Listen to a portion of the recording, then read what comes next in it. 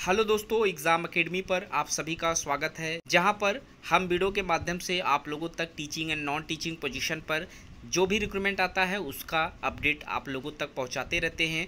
आज हम बात करने वाले हैं इंडियन इंस्टीट्यूट ऑफ़ टेक्नोलॉजी जो कि गांधीनगर में इस्टेब्लिश्ड है। यहाँ पर डायरेक्ट रिक्रूटमेंट निकल आया हुआ है नॉन टीचिंग पोजीशन है, जिसके ऊपर हम वीडियो में डिस्कस करने वाले हैं। हम वीडियो में देखेंगे कि कौन कौन से पोस्ट पर रिक्रूटमेंट मांगे जा रहे हैं अप्लीकेशन फ़ीस के ऊपर बात करेंगे और साथ ही साथ फॉर्म को अप्लाई करने के लिए जो क्वालिफ़िकेशन यहाँ पर रखा गया है, इन सभी चीज़ों को हम स्टेप बाय स्टेप वीडियो में समझने का प्रयास करेंगे। तो वीडियो में आगे बढ़ने से पहले जो जिन लोगों ने अभी तक चैनल को सब्सक्राइब नहीं किया है चैनल को सब्सक्राइब कर ले, ताकि इस तरीके का अपडेट आप लोगों को समय पर मिलता रहे। यहाँ आप देख सकते हैं, इस नोटिफिकेशन में टोटल आप जो सीट्स है, वो भी मेंशन है और सैलरी से रिलेटेड चीज़ें आपको इस कॉलम में देखने को मिल जाएगा और साथ ही साथ इसी नोटिफिकेशन में इसके बगल जो ऑप्शन दिया गया है, इसमें आप लोगों को क्वालिफिकेशन एक्सपीरियंस और एज लिमिट से रिलेटेड इंट्रैक्शन देखने को मिल जाएँगे। तो अगर आप लाइब्रेरियन के लिए फॉर्म अप्लाई करना चाहते हैं तो यहाँ एक पोस्ट पर रिक्रूटमेंट मांगा गया है जो मैक्सिमम यहाँ पर सैलरी है इस पोस्ट के लिए, वो एक लाख चौवालीस हज़ार दो सौ रुपये से यहाँ एंट्री सैलरी आपकी स्टार्ट कर दी जाएगी। अकेडमिक पे लेवल यहाँ पर 14 का है और जो क्वालिफिकेशन यहाँ पर मांगे गए हैं इस पोस्ट के लिए, उसमें आप लोगों के पास पीएचडी होनी ज़रूरी है। Library science and information science या फिर डॉक्यूमेंसन में आपके पास हो तो आप एलिजिबल हैं। साथ ही साथ आपके पास मास्टर्स हो लाइब्रेरी साइंस में इंफॉर्मेशन साइंस में 55 परसेंट मार्क्स के साथ आपने पास आउट किया हुआ हो। 10 इयर्स का यहाँ पर एक्सपीरियंस भी मांगा गया है। डिप्टी लाइब्रेरियन के पोस्ट पर आपने वर्क किया हुआ हो तो आप एलिजिबल हैं। इस पोस्ट पर फॉर्म अप्लाई करने के लिए। वहीं जो एज लिमिट इस पोस्ट के लिए रखी गई है, सत्तावन साल तक के किसी भी कैंडिडेट को फॉर्म अप्लाई करने के लिए यहाँ पर इनवाइट किया गया है।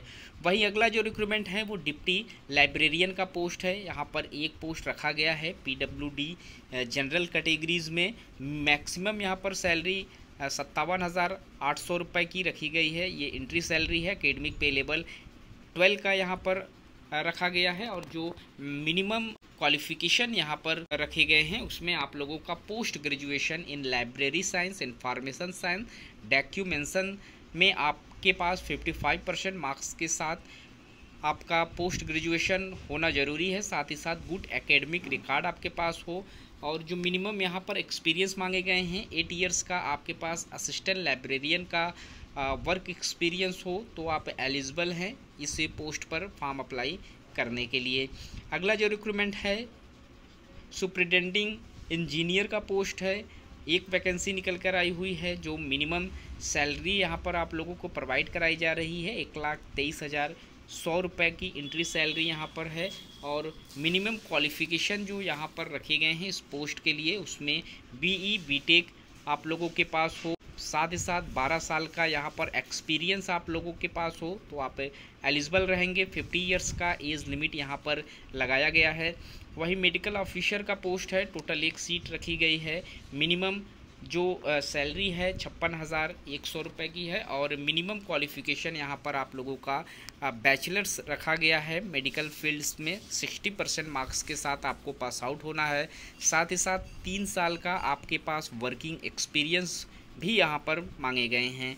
अगला जो रिक्रूटमेंट है, वो सिस्टम एनालिस्ट के लिए निकल कर आया हुआ है, जिसमें टोटल एक पोस्ट है सैलरी की अगर हम बात करें तो यहाँ पर छप्पन हज़ार सौ रुपये की सेल इंट्री सैलरी रखी गई है और मिनिमम क्वालिफ़िकेशन यहाँ पर M E M tech fifty five percent marks के साथ साथ ही साथ टू इयर्स का यहाँ पर एक्सपीरियंस भी मांगा गया है। या आप लोगों के पास बी ई बी टेक की डिग्री हो फिफ्टी फाइव परसेंट मार्क्स के साथ लेकिन यहाँ तब आप लोगों का फोर इयर्स का एक्सपीरियंस मांगा जाएगा।